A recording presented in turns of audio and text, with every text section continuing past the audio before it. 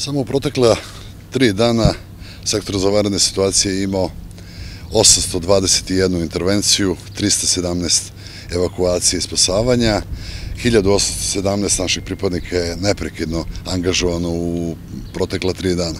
Nažalost, radili smo i na prevenciji tri dana pre ovih velikih padavina, naši pripadnici su pokušali da tamo gde imamo indicije da će da dođe do, do poplovnog talasa, da upozore i stanovništvo i industrijske zone, sve. Naravno, nikad to ne uspemo do, do kraja da učinimo, jer mi Srbi imamo onu našu neće to mene, tako da, ovaj, nažalost, neko to shvati neospilja. Zahvaljujem se pripadnicima sektora za varene situacije na jednom ogromnom, ogromnom trudu i da neprekidno, evo koliko, tri ili četiri dana već punih su na terenu sa, sa građanima Srbije, širo Srbije. 56 varednih situacija, to je jako puno, mnogo kiše je palo, evo pričamo gradonačelnik i ja, da ovde je preko 100 litara kiše palo u proteklih 48 sati, što je ogromno i to treba i zemlja i, i, reke da prime.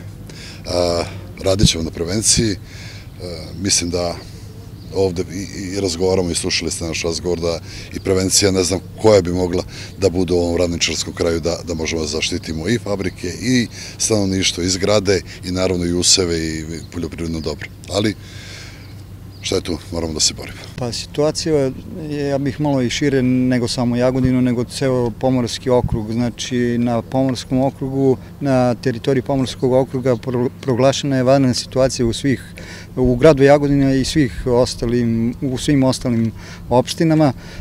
možda je, odnosno jeste najkritičnije ovde u Jagodini, saniraju se posledice tih, tih poplava i dalje su aktivnosti pripadnici sektora za vanredne situacije u okviru štaba za vanredne, gradskog štaba za vanredne situacije Jagodina vrše aktivnosti koje e, se donose znači, na, na štabu. Trenutno ovde na ovoj lokaciji nove industrijske zone vrši crpljenje vode iz ovog poplavljenog područja. Imali smo dosta intervencija, imali smo 25 spasenih lica samo u ovom poslednjem talosu koje se desio od 15. ovog meseca.